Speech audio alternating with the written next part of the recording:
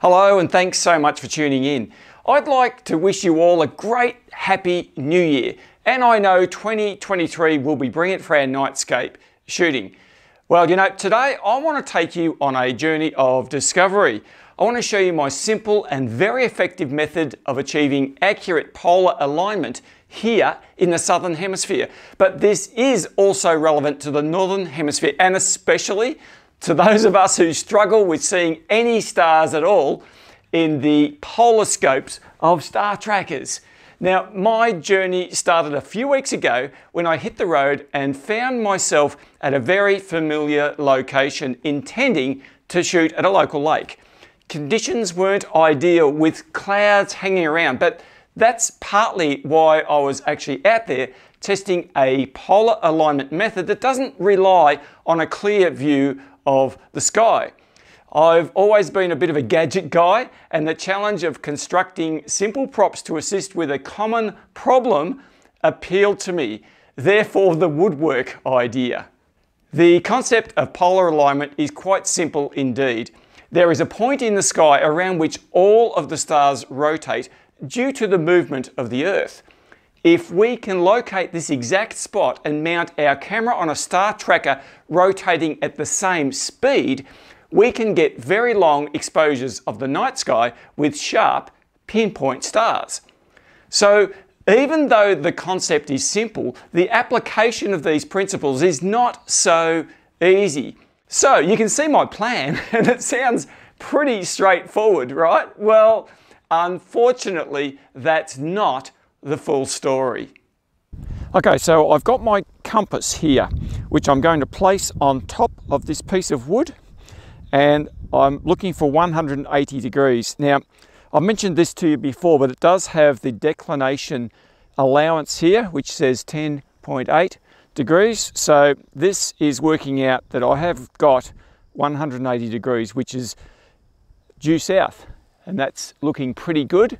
What I have to do is make sure that I can actually get this angle here correct in relation to my latitude. Okay, so what I'm doing here is using an app called Velux to get the angle.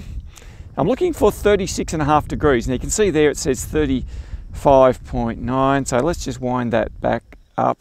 37, 36, 36 and a half. There we go. Now just tighten it down tighten it up and that should be fine. Okay, so I'm taking my piece of wood away. I've got my angles where I want them. I'm going to replace it with the actual unit on that same angle. Now it goes without saying that everything has to be locked down tight. So my tripod legs have got to be nice and tight. Everything has to be level. And I've got the base bubble level there secured. I've got a good spread of this tripod. It's a good solid tripod as well. And now you can see I've got my Star Adventurer facing exactly in the same direction that this piece of wood was facing a minute ago.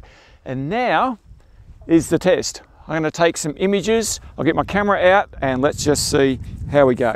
I've been shooting here, I've got Orion up there.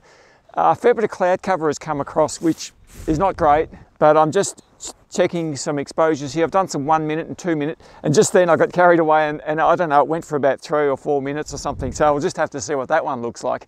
Uh, but I'm using a 50 millimeter lens here at the moment just to get myself started. Now I reckon if I can track with a 50 mm lens using my alignment method, then that's not going to be too much of a problem because I'll probably be using a 20 mm or even a 35 mm uh, for most of my stuff. So, you know, I don't think it'll be a problem at, uh, at those focal lengths. So yeah, there's a bit of cloud around, which is frustrating me, but it's fairly clear down there to the south. Uh, it's about half past 10 and it's only just got dark.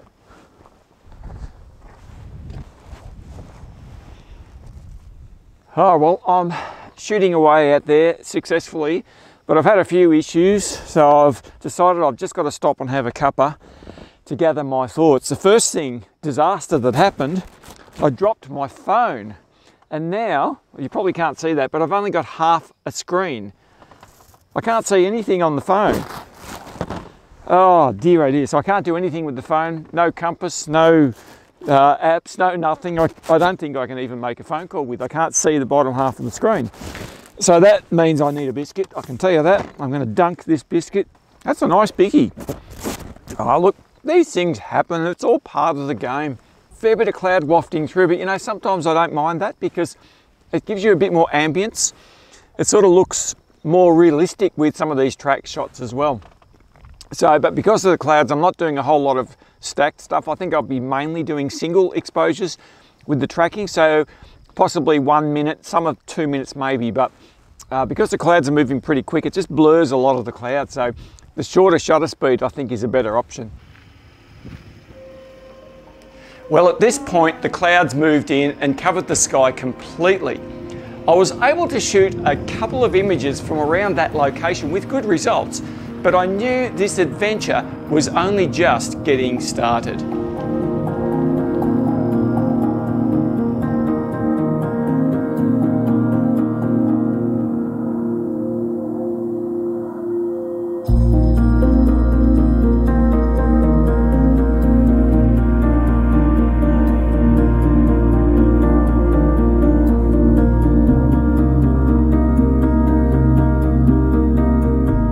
You can see from this single 60 second exposure at 50mm focal length, tracking wasn't too bad.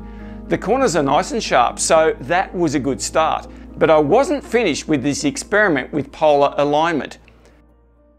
You know, it's now three weeks since I started this journey of testing my simple methods to line up the South Celestial Pole. Oh, and yes, I did have to buy a new phone. Here it is here. So anyway, these are the things we struggle with. Now, for those of you who don't know, the South Celestial Pole is very difficult to find in the sky. It's easy to get a rough alignment, but I have always struggled to see anything through the built-in polar scopes of these tracking mounts. If you follow my channel, you'll know that I usually use the iPolar camera built into the iOptron SkyGuider Pro tracker. And that's a really good system. But I also want to be able to polar align when there are obstacles or clouds hiding the view of the celestial pole, hence my experiments. So what I decided to do was compare how close I could get with my simple manual alignment method to a properly aligned setup with the iPolar. So on my next adventure, I put the two tripods side by side and proceeded to align them both to the south. The iPolar is easy to use and once I had that one properly aligned, I then went about setting up the other tripod with the Star Adventurer. Now I'd been playing around a lot with some homemade bits and pieces to assist with this process. As well as that, I've been looking at some phone apps to see how accurate they can be. I'm an Android phone user, so it took me a while to find some apps that I felt might be actually useful for this. It seems the industry standard phone alignment app is Polar Scope Align Pro, but this is only available for iPhone users. Uh, but after some searching, I found that you can use Sky Safari 6 Plus, which I already had on my phone for this use. This is a wonderful app for a general night sky viewing, but like most things, takes a while to learn what it can do. Another Android app I've been testing is Polar Aligner Pro, which is a little different, but has a wonderful daytime alignment feature, which lets you remember the polar alignment for the next time you want to check it. So during my testing, I was continually frustrated by the inconsistency I was getting with the phone compass apps. One minute it showed as accurate reading and then it was a little bit off. Now, I'm well aware of the influence of metal objects placed near a compass, and that's why I made so much use of the timber brackets in my testing. I even bought an old analog compass to try and help me find an accurate reading, and this did actually help. I made sure I had a declination scale on this one so I could make allowances for the difference between true north and magnetic north. So if you're not aware of what true north and true south is, I'll try to explain. All compasses will point to what is known as magnetic north, as this magnetic field is what makes a compass work in the first place. But magnetic north for most locations on Earth can be quite a long way from true north. And this angle between true north and magnetic north is known as the declination angle. Now at my location, this is about 11 degrees east. So when my compass needle is pointing north, I need to adjust the angle by 11 degrees to the east to find true north. Now, true north is the actual pole around which the planet rotates, and this in turn is the pole that we must align to to get accurate polar alignment for our tracking mounts. I just wish this stuff wasn't so complicated, but the good thing is that this difference between magnetic north and true north is really easy to find online. Just do a search for magnetic declination for your town or city. Okay, so back to my experiments. I did find that by using the old-fashioned analog compass, I was getting consistent readings and as I mentioned, it does have a declination scale on it which makes for easy adjustments for true north and south. So at this point I'd been out comparing the results from my iPolar aligned mount to my simple compass and timber block method. They were close but not exactly accurate. So I still wasn't quite there with my experiments. But the good thing about having the two mounts side by side was that I was able to work out exactly where the alignment of each mount was different. Hey, I even placed markers on the ground and all around my garden in the backyard to try to replicate the correct alignment angle. Oh, I'll tell you what, the things we do, eh? Now, I did numerous test shots using my 50mm lens and found with some fine tuning, I was able to get really good 8 minute exposures on my manual polar aligned mount. So this was looking really good as I never shoot that long in the real world with wide angle tracking anyway. But the proof would be in my ability to replicate this at any location at any time without the luxury of the iPolar to get me out of trouble. So, over the course of the next couple of weeks, I found myself out shooting lots of locations to perfect my methods.